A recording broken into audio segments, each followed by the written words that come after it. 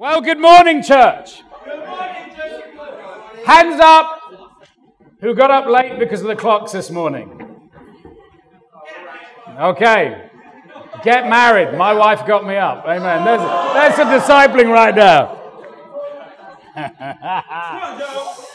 so, uh, as a result, we started church late. We're not going to have a leaders meeting, but we do need your help because we're making videos uh, for the conference. So we need some photos with flags and everything. So that's what we'll be doing afterwards.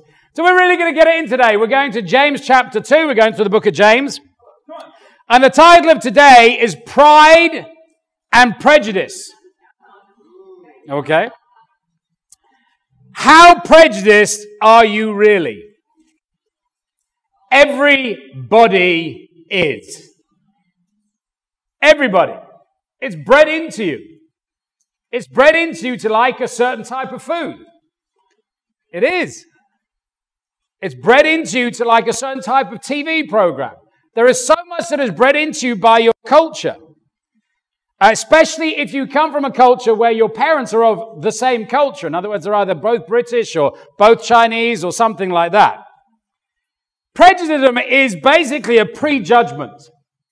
It's forming an opinion before you really know the facts. Think about it. Most people's friends, are they from the same race and color or from different?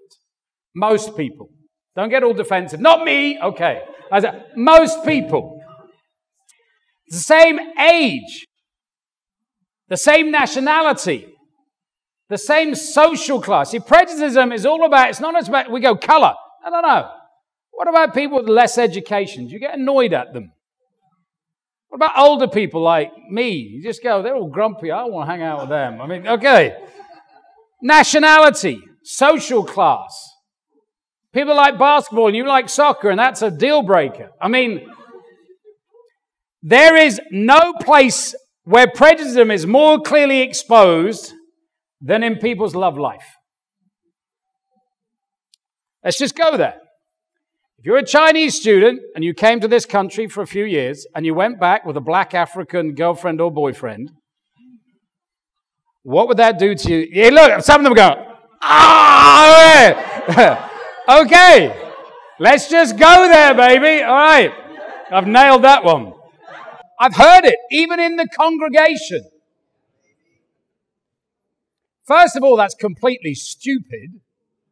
That's to say, you know every single 1.3 billion Chinese people and you don't like them. I mean, that's just ignorance. I mean, it really is ignorance. But what are you actually saying there? You're being racist. Let's just say it. You are being racist. Now, I've had this deep conversation with somebody. I think what you're actually trying to say is that certain cultures have typically certain characteristics. And that's true. I think Asian people are predominantly harder working than most Europeans. I can say that as a European. Okay, I think Nigerians are, say, not as gentle uh, as the Filipinos. okay. There is so, okay, so if you're saying that I wouldn't like somebody who is indisciplined, and that is a characteristic of a certain culture, and so I'd have to have somebody that was disciplined from that culture. I can understand that. But these whitewash things where you just go, I, I just don't like those type of people. That's complete and utter ignorance. And it's not godlike. God could have created us all the same. In 1 Samuel 16, 7, it says, But the Lord said to Samuel, Do not consider his appearance or his height, for I have rejected him. The Lord does not look at things people look at. People look at the outward appearance, but the Lord looks at the heart. That's what we're meant to do. We're meant to look at people's heart, not at our age or any of those different things. And this is, it's, it's actually, prejudice is seen more in churches than anywhere else. I mean, it really is. You think about it. If you're in a multicultural city like here in Sydney, and you, there is an all white church, or an all black church, or an all Chinese church. That is racist. It is. think about it. Matthew 28, this is the command of God. Verse 18. Then Jesus came to them and said, All authority in heaven and on earth has been given to me. Therefore go and make disciples of all nations, baptizing them in the name of the Father, Son, and the Holy Spirit, and teach them to obey everything I've commanded you. And surely I'm with you always to the very end of the age. So if you're visiting a church and it's of all one gender or color, etc., one of two things has happened. Either that church is not evangelizing. Okay? In other words, they're not going out and just inviting everybody. Or they're deliberately making a decision to only invite one type of person. So they're either lost because they don't evangelize, they don't love the world, or they're lost because they're racist. Because it's impossible. Lots of us are evangelizing here. And you go out and, you know, just people come towards you.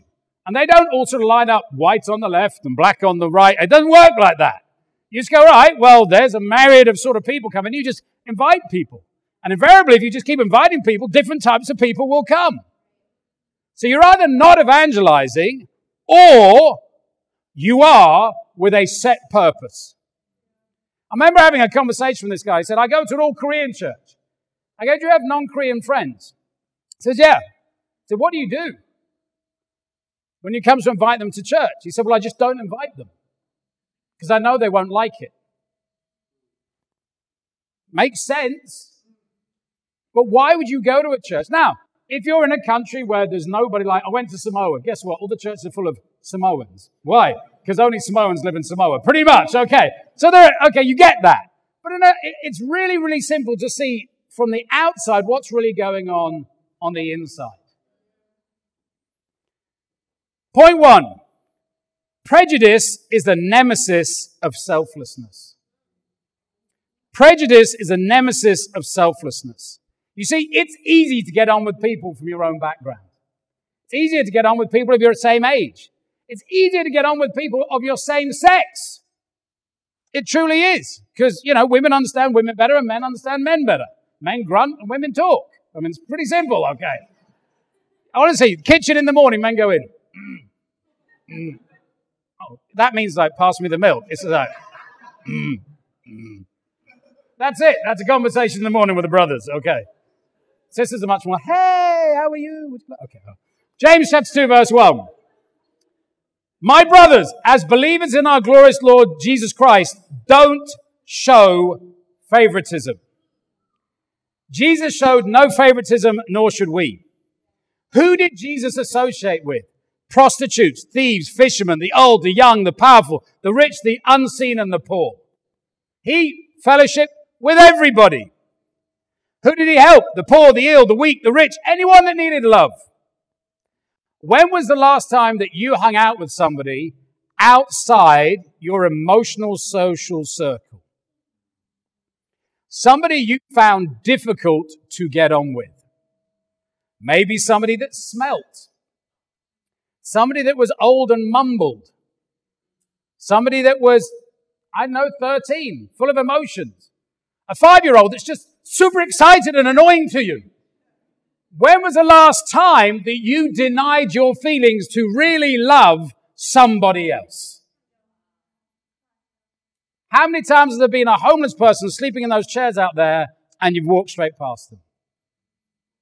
You know, I am really, really loving this evangelizing eight people a day. Because there are some days where you, it's easy, you, you know, we set up and we get evangelism on Monday at university and all that sort of, great. But there are some days that Kerry and I, we, we've just got back to back appointments. And so you actually have to force yourself. It's one of those days you could easily not evangelize. Even this morning, I was like, okay, how am I going to invite my eight? Right, I'm going to be outside the church and start inviting people. It was great. The bus driver came off the bus. I went, I'm going to go and talk to him. Had a great conversation with a guy that I would never have had a conversation with. Comes off the bus. He must be 50 years old. We talk about belief. I send him an email, etc., etc. It's great because it forces you to actually go and meet people that you normally wouldn't go and see. These challenges are things, they're just help to help us what we should be doing anyway. You know, recognizing favoritism. Chapter 2, verse 2. Suppose a man comes into your meeting wearing gold ring and fine clothes, and a poor man in shabby clothes also comes in. If you show special attention to the man wearing fine clothes and say, here's a good seat for you, but say to the poor man, you stand here or sit on the floor by my feet, have you not discriminated amongst yourselves and become judges with evil thoughts? It does us the world of good to go and help the homeless. What do we do it now? There are too many of us, so we have to sort of do it in little points. But I think sometimes, yeah, we need to build a church and we need to get, uh, convert great leaders. But the purpose of converting great leaders and building a church is so that you can then take those great leaders and help the poor. It's not just to go and convert great leaders so you just convert great leaders, convert great leaders. Great leaders are meant to go and help the poor and less fortunate. So it's great that so many of us are students, but let's not forget why God has given us gifts. He's given us gifts to help the less fortunate. Sometimes we just need to take some time and spend time with the less fortunate. You know, who do you evangelize? Just those people that you relate to? It's been great evangelizing. We did, Kerry and I are doing with this little challenge far, far more uh, evangelism, and she's far better at it than me. She's sweeter. You can uh, actually, when I evangelize with Kerry, I really realize she's really much sweeter than me. Because I'm like, like typical man. Hey, you want to go to believe in God? And blah, blah, blah, She's like, ah, we were out evangelizing yesterday. Again, we, full day.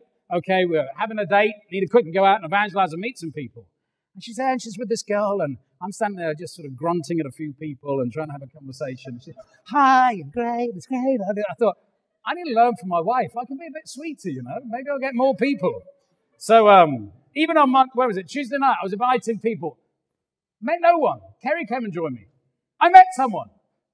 Get married. I'm in. There you go. All right. if you want to know how prejudiced you are, who are your best friends? I never thought I was prejudiced. Now, I was brought up in a very, very English household. It was white. My house, parents' house is 600 years old. My auntie, you, some of you know that she's, hello, darling, how are you? That is where I come from. When I came to uh, the church, I moved to London, became a Christian. I used to wear tweed suits. I carried my big Bible. I'd wear brown brogues and I'd walk around. I, I tell you how ignorant I was. I went on a date after I became a Christian with my first black African sister. And on the Saturday night, she had short hair. And on the Sunday at church, her hair had grown eight inches. And I went up to her and said, Do black people's hair really grow that fast? Now, you may be laughing at me, but how well do you know the Asian culture? How well do you know the Australian culture? How well do you know the Vietnamese culture? Oh, yeah, you can get caught out a few times. You can laugh at me and I'm old and stuff, but what about you? How prejudiced are you? You know, I love the fact that God gives us the different parts of the world. Every single culture has enormous strengths. I love the American culture. The American culture is one of those cultures, if you're cynical and evil like me, you go, they're just too fired up. Do you know what I mean? But Jenna, being an American, has changed the culture of this church. She is somebody who, when she shares good news, she jumps up the front. She's like, here I am. That changed the culture of our church. It did. That they are generous with their feelings. They are generous in their attitudes and we need to imitate that part of their culture. You know, I love the Nigerian culture. A bit rough, but, you know, if you want the truth to be spoken, you send in money. I love the Australian culture. What I love about the Australian culture is they will tell you exactly what somebody needs to tell you and not, not have a malice to it. I always say this an Australian go, mate, you're ugly, but I love you. I mean, that, that's an Australian. It's like, I'm going to tell you the truth, but it doesn't bother me. I mean, just, there's something about, and you sort of go, yeah, I know, and it's okay, right? You know, it's just, there's something about that culture that's like, that's how it is. If you want something done that's going to take long hours, give it to an Asian. They know how to stay up all night and work. They do. They absolutely do. You go to the Hong Kong church, they're like a little army. She, Aaron, these boys know how to work hard. There's something to be imitated. I think just the pure joy of Filipinos.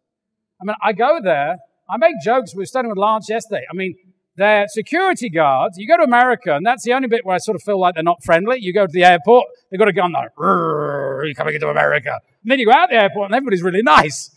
Go to the Philippines, you're in a mall, they've got a shotgun, and they're like, hi, how are you?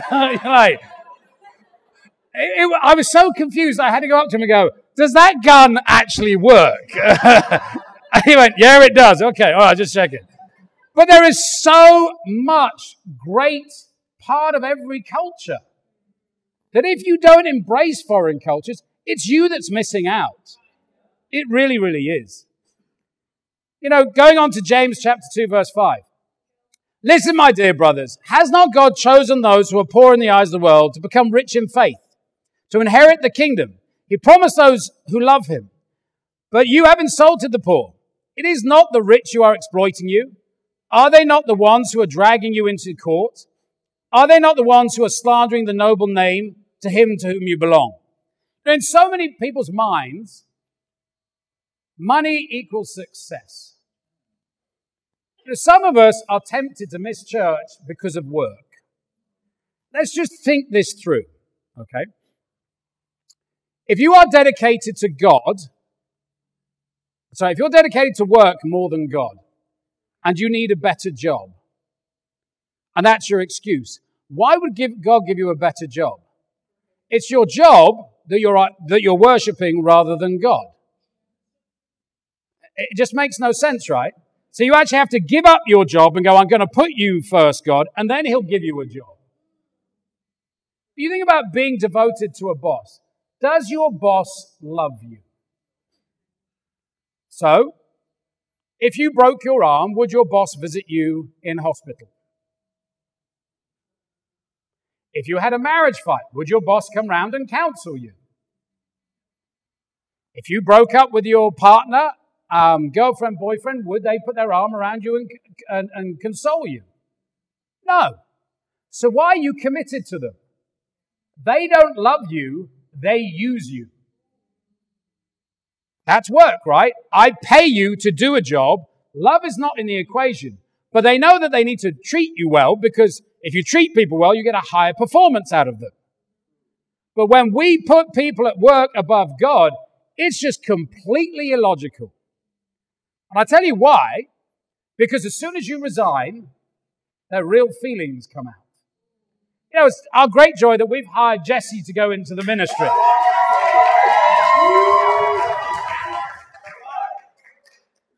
She's in a family as a, as a uh, looking after children who claim to be Christians. God has called her to go into the ministry.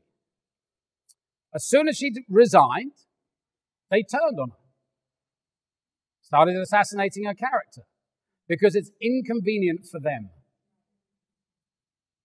Now we'll see how people really feel about you. Even the boy, I've been in big business, and when people resign, they often march you off off, off the job at that moment in time. They go, I don't trust you. So leave now and pay you two weeks' notice. That's the level of love in the world. It's saying here, you know, the rich people, the people with money, why are you committed to them? Why are you so focused? Why are you admiring these people? These aren't the people that love you. In actual fact, when you are loved by the poor, you know it's true love. Why? Because they're not after anything. They're just with you as friends. It's why often we have greater relationships as students. Because, you know, you, you have nothing to gain from another student. Nobody's got any money. The same as Christian. It's like, what do I get from other Christians? Well, we share secondhand clothes. I mean, there's a new, there's a new fad going on inside the church. We always know that when sisters live together, right? You sort of see this clothes, and on one Sunday, one sister's wearing it, and then one's not. That's normal, right? Okay. But now I look at Manny and Scotty, and I don't know whose clothes are whose, or who stayed over at which. Is Manny becoming Samoan, or what, what's going on? But why are we impressed with riches? Why are we impressed with a job? It's just a job. Verse 8. If you really keep the royal law found in Scripture, love your neighbor as yourself, you are doing right. But if you show favoritism, you sin and are convicted by the law as lawbreakers. For whoever keeps the whole law and yet stumbles at just one point is guilty of breaking it all. For he who said, Do not commit adultery, also said, Do not murder. If you do not commit adultery, but do commit murder, you have become a lawbreaker. He's talking about here about, let's just get back to some real basics. Love your neighbor. I'm going to challenge you. I'm not going to ask you to ha- put your hands up. Was there a day that you didn't invite eight people? Why? Well, I didn't have time. Do you live next to somebody? Why didn't you door knock them? You see, we, we sort of, and that's the whole thing. We get into these, these churchisms, which, well, I evangelize at six o'clock at university. Well, that's good. But what about your next door neighbor? And we can all do it and go, I feel justified. I've evangelized all day and walked straight past our neighbor. My challenge to you this week is door knock your neighborhood. Especially on a Saturday afternoon, four o'clock. That's a really, really good time. Most people are at home then. But just, you know, before it gets dark, just go and see who your neighbor is. Invite them round. Too often we go, I can never get hold of anybody when I follow up. Well, if you invite your neighbor, guess what? Every time you go home, you just knock on the door. Hey, mate, do you want a cup of tea? I mean, that's all you need to do, right? Too many of us are great at getting telephone numbers and terrible at building relationships. Because we've got into a form of evangelism that is legalistic. You know, where is the old time you just go, come around for a cup of tea? or visit somebody for a cup of tea, or whatever drink it is, coffee or juice or whatever any juicing people do these days. Okay, but my point is, is go and hang out with people. Build relationships with people. James 2, verse 12. Speak and act as those who are going to be judged by the law that gives freedom. Because judgment without mercy will be shown to anyone who has not been merciful. Mercy triumphs over judgment. Let's talk about what's going on inside our hearts. We all need to act as if we're going to be judged. That is shown mostly in your homes. What's going on in your home? How merciful are you towards other people in your household? When they leave the dishes in the sink, when their washing is still in the washing machine five days later, or whatever it is. If Jesus was standing right next to you, which he is, and you saw him, would you act differently? We need to live as if God is watching us all the time, because he is. Hebrews 4:13 Nothing in all creation is hidden from God's sight. Everything is uncovered and laid bare before the eyes of him to whom we must give an account. We've got to make sure that our lives on the inside are better than the outside. I know we talked about briefly the other week about the concept of godliness versus spirituality. So, godliness is like fruit of the Spirit being kind, being gentle, being patient.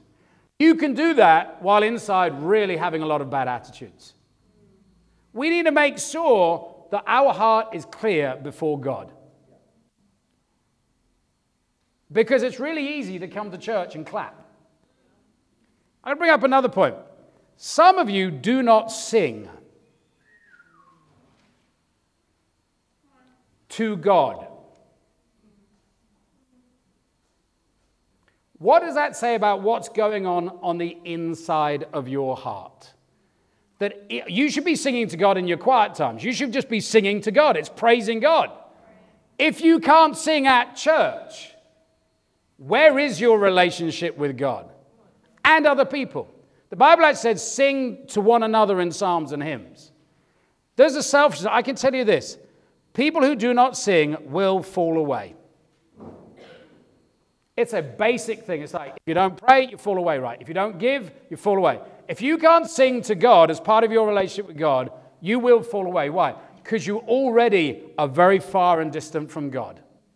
And I'm not talking about the guy that just got baptized and if you didn't know, Kayla, where's Kayla? Kayla got baptized on Wednesday at the women's meeting. Come on, come on.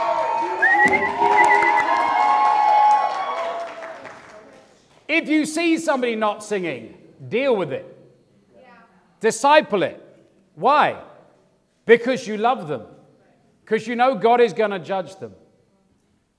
Imagine going to somebody's wedding and being moody. How would that person feel? they would not be happy, right? This is God's church. This is where we worship. You need to go and have a prayer time to God today and apologize to God for treating him so badly. Point number two Are you proud of what you do? Are you really proud of your life? Shouldn't we all be proud of our life? You know, I love, I meet Manny in the mornings on Sunday and I go, How's your life? I love my life. How's your life? I love your life. Or Jamie he goes, I'm living the dream. Every time you meet Jamie, how's life? I'm living the dream. Are you living the dream? Are you living the dream? James 4 2 14. What good is it, my brothers, if a man claims to have faith but has no deeds? Can such faith save him? The answer is no. This whole false doctrine that you only need to believe in God to be saved. That's not true. John 8 31, to the Jews who had believed him, Jesus said, If you hold to my teaching, you are really my disciples. Then you will know the truth, and the truth will set you free. You only see great things in your life when you do something. You think about this. How many people do this? How many people are spectators in life? I want to be a great basketball player. Do you play it? No. I want to win the lotto. Do you buy a ticket? No. I mean, it's man's, like, we live in a fantasy world where nothing happens in our life because we think about things, but we don't do anything. I was always told by an old mentor, he goes, Some people dream about doing great things, and some people stay awake and do great things. Hmm, it's as simple as that. The question is, is are you happy about your life? Are you proud of what you do? If you're not, do something about it. There is nothing greater than confessing your sin and dealing with it. Don't you think? I mean, just, okay, I'm not doing well. Can you please talk about it? Because this week I want to do well. That is one of the greatest gifts that God has ever given us, is confession. Is that every single day of your life as a Christian, you can decide to, from this moment on, life is going to be great. Most of the world never experience that. They are defined by their past. You know, I was so proud. Ian and Margaret have been our friends since almost we were born, I think. Okay. But we've been friends forever. Like, this is a couple that when everybody left our house and said, We don't want to be with you for joining the movement, only Ian and Margot were there. That's it. That's who they are. We went on camping trips with them. We had fun. I mean, we always did love it. We used to have like our tent, and then Ian and Margot arrived with the television and the kitchen sink, and like, we're like, they're our camping buddies. I mean, literally, you know, they'd bring a coffee machine, we just go down the road and buy a coffee. Okay, I mean, but I mean, we had some really fun times. Um, but I'm very proud of them. There's some things in the Bible that we like to sort of distort. The Bible says if you want to be fruitful, persevere and you'll be fruitful. I was talking to Margot, and today, with uh, Lynn being baptized, Margot's going to be fruitful for the first time in 23 years.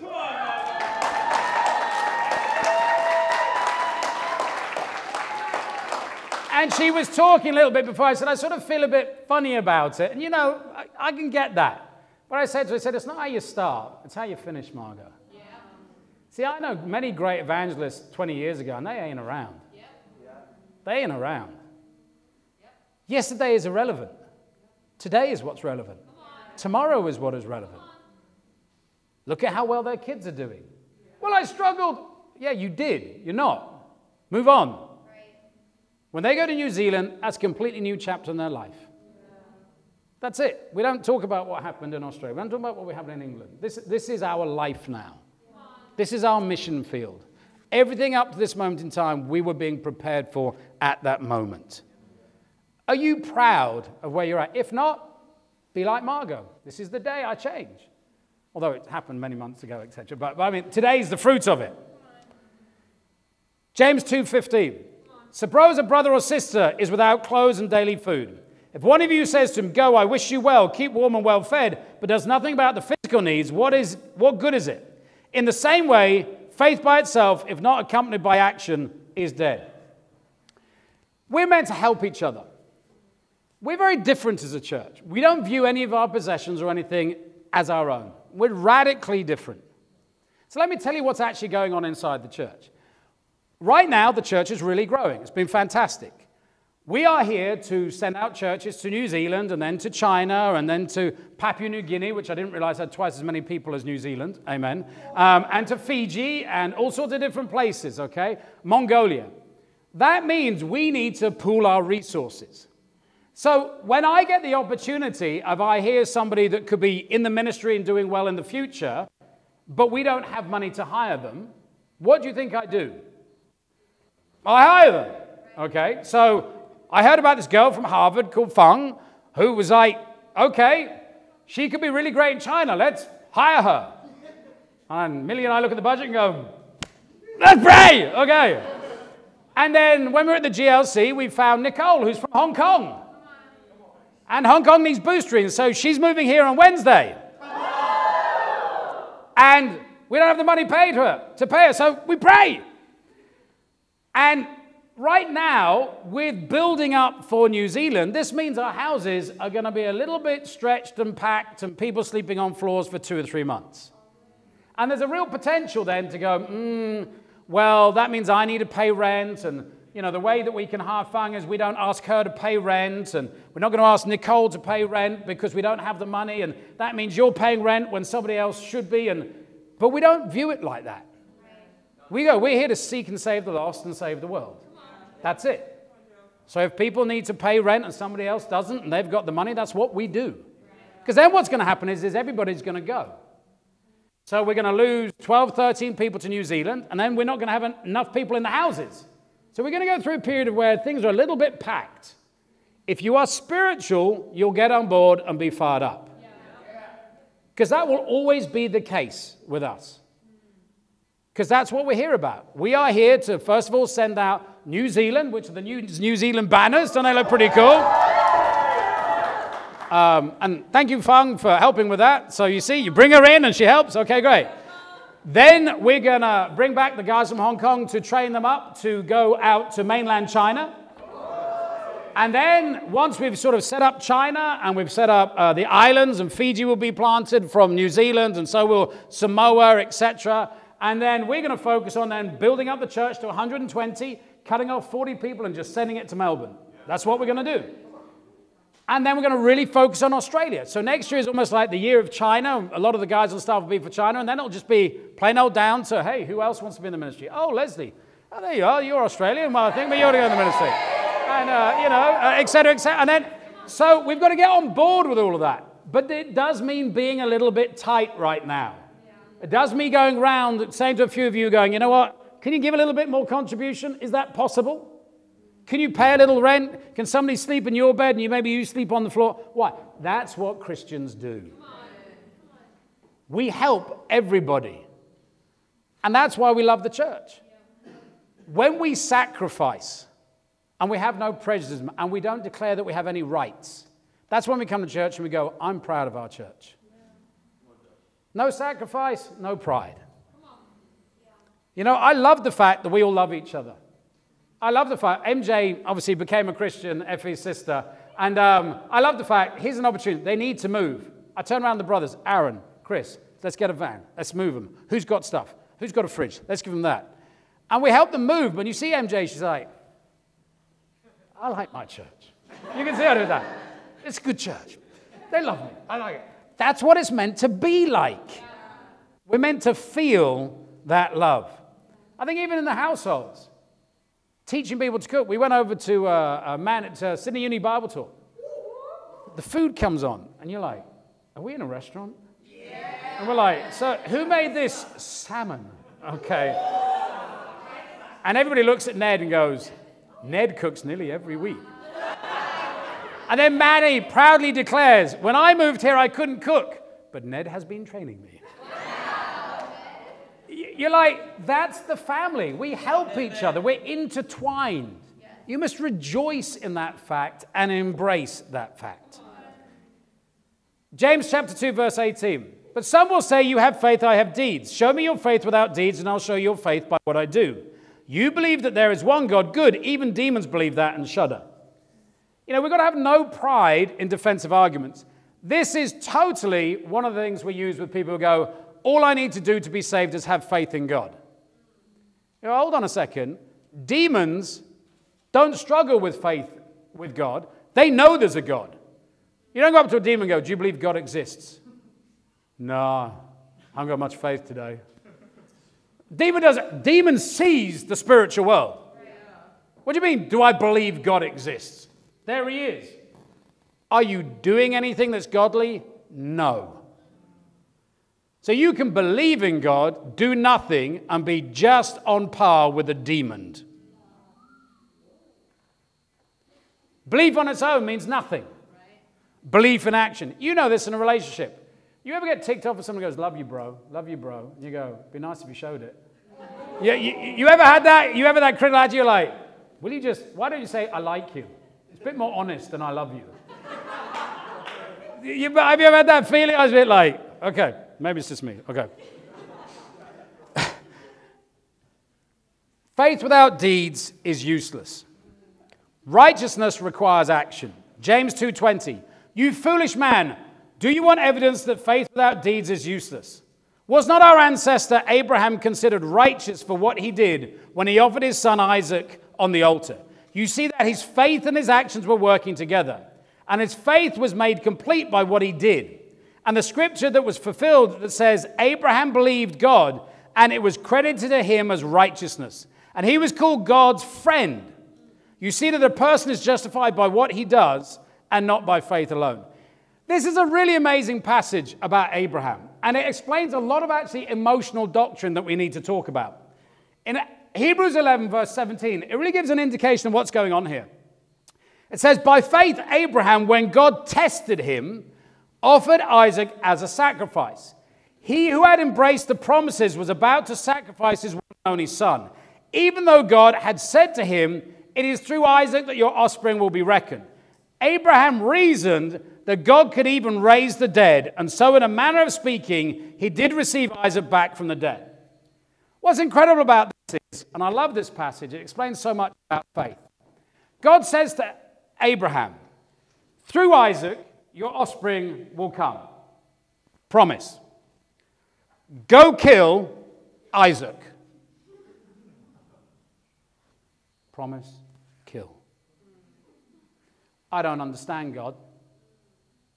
And most people get to that point, never get faith, and leave God. God's stupid. God's unreasonable.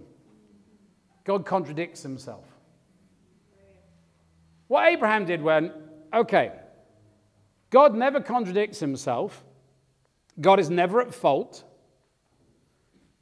The offspring will come through Isaac, and I do need to kill him. They're both commands, and they're both things that God has said, so they must both be true.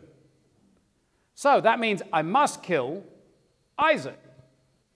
So let me try and figure this out. The only way that the promise is true and I can obey is the fact that I must kill Isaac and he must somehow be able to be resurrected and come to life afterwards. Resurrection was nowhere in the concept of the Bible before.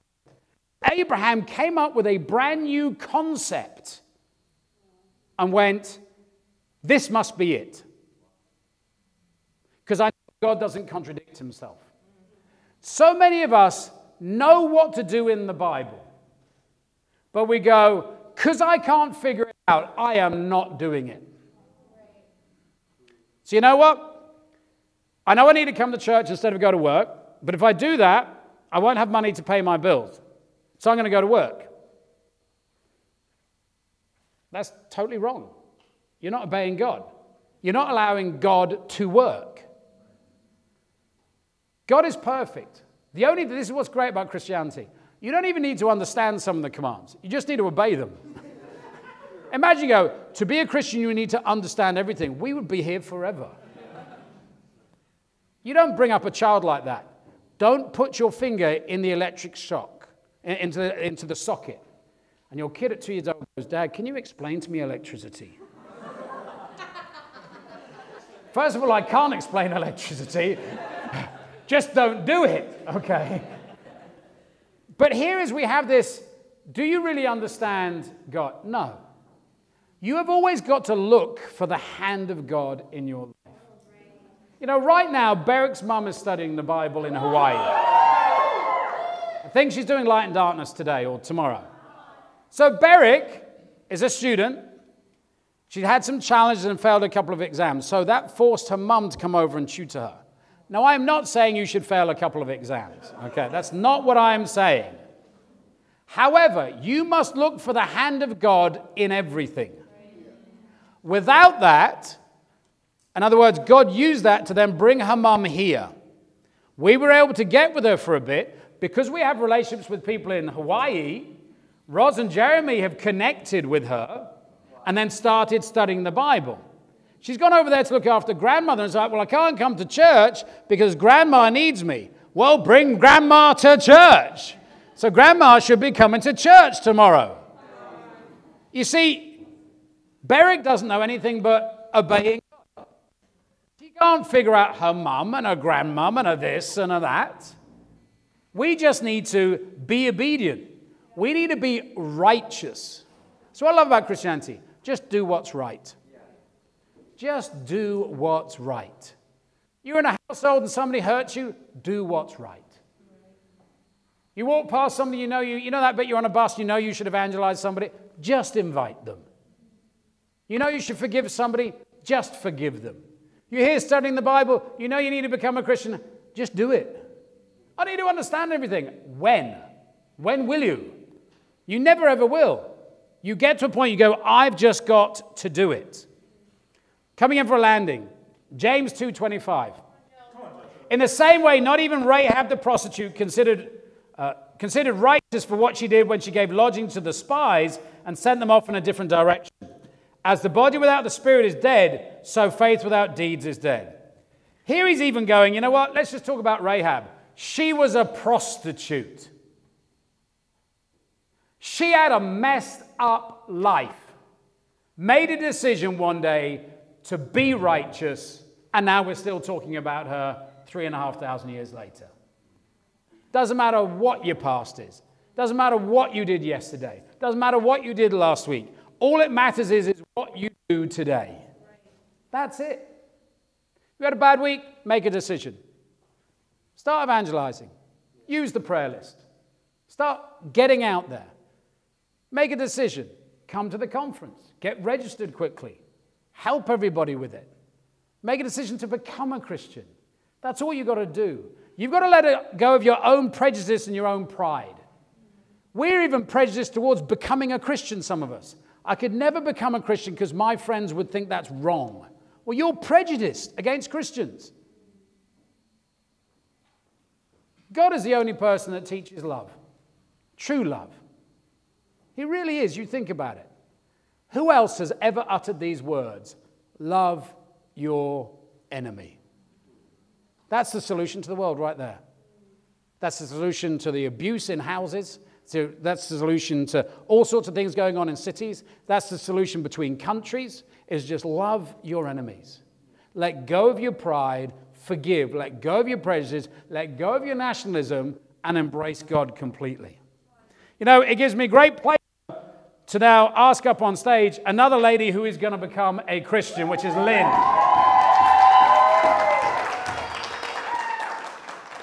I've had a few conversations with Lynn. Lynn comes from China, and there have been challenges in, in her background.